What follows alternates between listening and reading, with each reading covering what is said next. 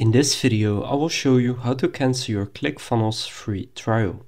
So the first step to canceling your ClickFunnels free trial is to click on settings right here. And then once you're in your settings, click on billing.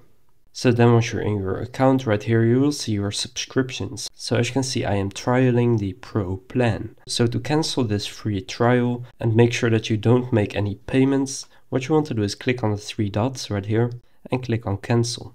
Then it will ask you why you want to cancel. So you can do training issues, software issues, or cost. So I'll just say cost. Then you can explore pricing options, or you can click here to continue to cancel your account. And then to complete it, you can click on cancel my account and delete all my content. So then the final step is here to enter your reason for cancellation. I'll say too expensive and then click on submit.